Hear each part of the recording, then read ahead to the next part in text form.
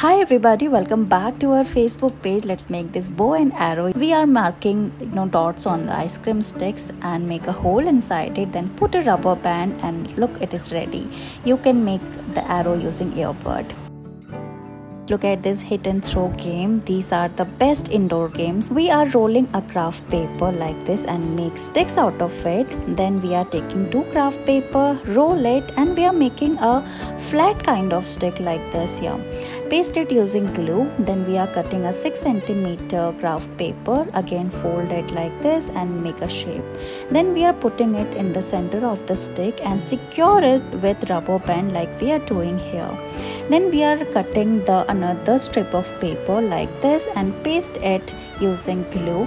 Then we are also pasting the two sticks using hot glue gun and putting those sticks in between it. Look it is looking like a pistol to me but do let me know in the comment section below. Then we are marking a line on it and we are putting in the holes like this. Put a rubber band and look you can hit using those. Again put another rubber band and look it is ready. You can hit as many rubber bands as you can. Thank you so much for watching this video. Please like and share